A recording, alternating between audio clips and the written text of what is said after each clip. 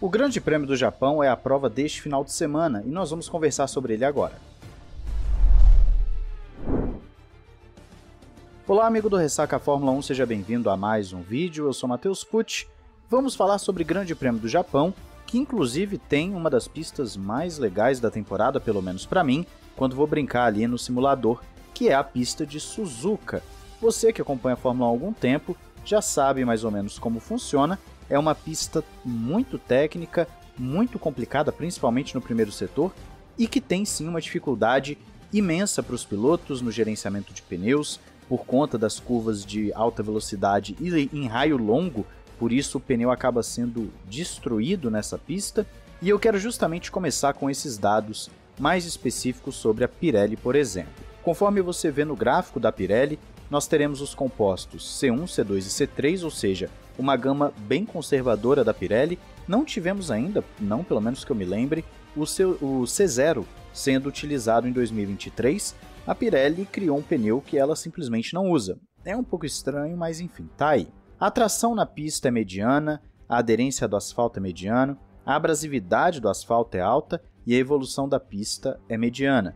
O estresse no pneu é alto, justamente pelo fator que citei há pouco, de você sempre estar tá com um carro fazendo curvas rápidas num raio longo, isso destrói o pneu. A frenagem é até baixa, não tem uma força de frenagem alta em relação aos pneus, a força lateral exercida é alta e o downforce é alto, não sendo um downforce tão alto quanto, por exemplo, Singapura, mas é um downforce alto também, numa escala de 1 a 5 fica no 4, conforme você confere. Embaixo tem as informações de cambagem e também de pressão dos pneus, inclusive a, do, a pressão pode ser alterada após os treinos livres, caso a Pirelli acredite que seja necessário. E você vê no gráfico do pneu lá em cima que tanto na energia longitudinal quanto na lateral você tem um estresse no pneu muito alto, principalmente na região externa do pneu. Então sim, poderemos ter aí duas, quem sabe três paradas nos boxes, mesmo com uma gama mais conservadora da Pirelli para essa prova. É uma pista que tem 5.807 metros, distribuídos em 18 curvas. O primeiro setor é muito técnico, as primeiras sete curvas não dão margem para erro, até porque você tem brita, grama nessa parte externa e qualquer errinho que você tenha nessa seção um pouco mais sinuosa vai gerar um sério problema em termos de você sair da pista ou às vezes até bater em alguém. O segundo setor é mais tranquilo, você tem uma possibilidade de ultrapassagem no hairpin na curva 11 o que, sim, pode gerar ultrapassagens, mas geralmente o pessoal usa só para aproximar mesmo do adversário, para quem sabe depois da curva 14 conseguir uma ultrapassagem, seja ali na 130R, que é a curva 15, seja depois da última chicane para usar o DRS na reta principal.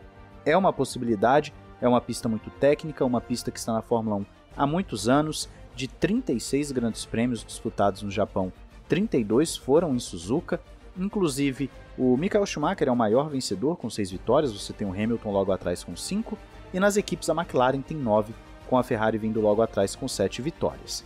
A previsão do tempo é de, quem sabe, uma chuva na sexta-feira, porém, sábado e domingo aparentemente vai ser um tempo nublado, sem grandes perspectivas de chuva, o que é até entre aspas uma pena, uma vez que a chuva pode dar uma melhorada nesse grande prêmio, já que é uma pista que, por mais que seja muito técnica, com esses carros que são gigantes, que são muito difíceis de ultrapassar, que dependem muito do DRS, a possibilidade maior é de uma corrida mais ali xoxa, uma corrida mais no esquema procissão do que propriamente uma corrida bem movimentada. É claro que a gente torce para que seja algo no estilo do que foi Singapura, com bastante disputa, mas provavelmente não teremos esse nível todo. Falando de horários especificamente, no site da Band você confere que na quinta-feira às 11h30 da noite teremos o primeiro treino livre, na sexta-feira, 3 horas da madrugada, o segundo treino livre. Na sexta-feira também às 23h30 teremos o terceiro treino livre e no sábado às 3 horas da madrugada a classificação. Já no domingo teremos a corrida às 2 horas, como já é tradicional, da madrugada com a transmissão da Band, Band Esportes ou se você tiver Film TV também estará sendo transmitido lá. Ou seja, é aquela corridinha que a gente já sabe que vai ser todo o final de semana de madrugada. Já preparar o alarme, preparar e talvez você vai querer ficar direto, outros preferem dar uma cochilada antes, mas já é para ficar preparado que é corrida de madrugada. Quero dar uma olhada com vocês numa volta on-board com o Sérgio Pérez, uma volta virtual. Eu não estou mais pegando aquelas voltas da pole position por uma questão de direitos autorais, a gente consegue usar menos aquelas imagens, então aqui a gente consegue parar, analisar com mais calma. Você vai reparar que na abertura de volta do Sérgio Pérez, as duas primeiras curvas já são bem complicadas. Inclusive, ele coloca o carro nessa primeira curva até dar uma bela de uma espalhada, coisa que tem pilotos que fazem linhas diferentes nessa primeira curva para poder sair melhor na segunda. É o tipo de coisa que não vou dizer que todo mundo faz, porque realmente dá para você ter linhas diferentes. Já a sequência de curvas até a 7 é muito importante. Como eu disse, você tem grama, tem brita, é um ponto que não permite erro, dá para perder tempo demais nesse trecho, simplesmente porque é bastante técnico, exige um carro bem equilibrado, um carro no chão, um carro que é rápido de curva de média e alta velocidade, um carro que não vai desgastar muito o pneu, que vai andar numa janela de temperatura muito específica também. Então tudo isso contribui para que você tenha um carro em excelente estado para estar tá fazendo uma boa volta. Depois, a parte mais técnica já foi, agora é uma questão de maximizar o ganho nos pontos do segundo setor, principalmente no hairpin que você já vai ver o hairpin é de extrema importância por ser uma curva ali feita de segunda, às vezes até primeira marcha, e que gera a possibilidade de um mergulho ou até mesmo de uma arrancada para poder ultrapassar o adversário logo em seguida.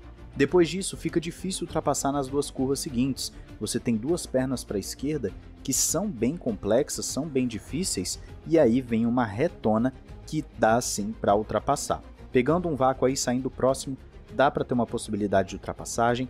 Na 130R já vimos ao longo dos anos algumas ultrapassagens, não é tão comum assim, só que agora os carros fazem de pé embaixo, né? eles não tiram mais o pé como antigamente, e vão para a última chicane, que é o ponto que deve gerar também alguns mergulhos e deve gerar também algumas oportunidades. Sabendo disso, devo dizer que o Grande Prêmio do Japão, tecnicamente, é uma prova muito atrativa. Você que joga no videogame, no simulador, já deve ter percebido isso mas para quem vai assistir, a chance maior é de uma corrida um pouco mais truncada. Muita gente pergunta se a Red Bull vai voltar ao seu melhor.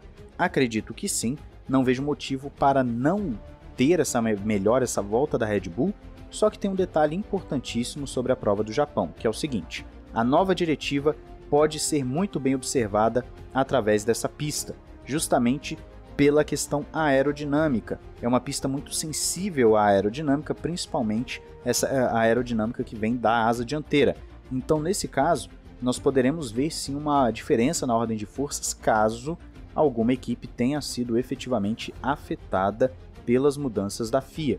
Então, fiquem de olho, no, principalmente ali no meio de pelotão. Acredito que lá na frente vai ser mais difícil ter alguma mudança, mas fica principalmente ali no meio de pelotão de olho porque deve ter uma alteração na ordem de forças. Algumas equipes vão estar, quem sabe, levando uma atualização ou outra. Falamos sobre a Ferrari podendo levar uma atualização de assoalho já na próxima corrida.